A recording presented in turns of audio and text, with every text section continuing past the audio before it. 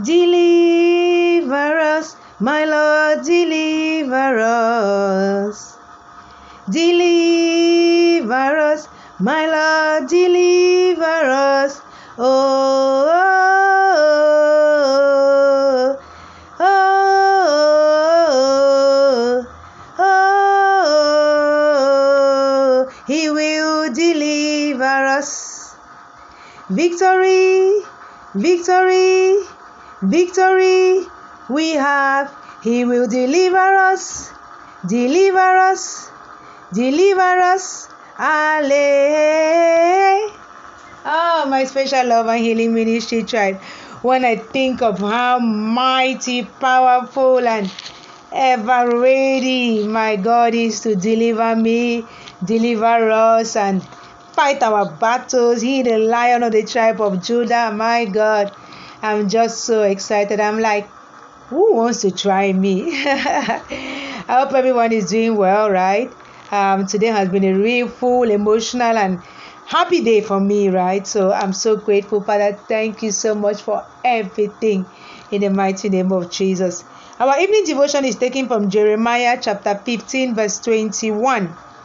I will deliver you from the hand of the wicked, and I will redeem you from the grasp of the violent. Hmm. What a precious promise. Hey, very precious. Notice the glorious person of the promise I will, I will. The Lord Himself intervenes to deliver and redeem His people. Aren't we so blessed? He pledges Himself personally to rescue them. His own arm will do it so that He will have the glory. There is not a word said here of any effort of our own that will be needed to assist the Lord. No, how can we help Him? Hey. Neither our strength, not by might, not by power, nor our weakness is taken into our into account, mm. but only the lone I of God, as the sun in the heavens shines out, as the sun in the heavens shines out magnificently in all sufficiency. Why then do we calculate our forces and consult with flesh and blood to our own detriment and harm? We wrestle not against flesh and blood. So other wasting time to do all that calculation, dynamic gymnastics, planning, planning, strategizing. Sometimes, ah, ha, ha, ha. You see how the walls of Jericho fell? What human strategy could work that out? God has enough power without borrowing from our puny arms. Be silent, you unbelieving thoughts. Be still and know that the Lord, the Lord reigns. There is not a hint about secondary means and causes. The Lord says nothing about friends and helpers. He understands, he undertakes the work alone, and he feels no need of human arms to help him.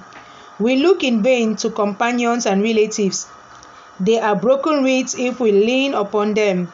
They are often unwilling when able or unable when they are willing. Since the promise comes from God, from God alone, it will be good to wait only upon Him. When we do so, our expectation never fails us. Who are the wicked that we should fear them?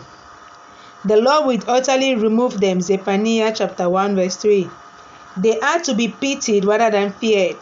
As for cruel ones, they are only terrors to those who have no God to run to.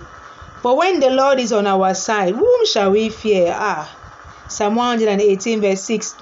If we run into sin to please the wicked, we have reason to be afraid.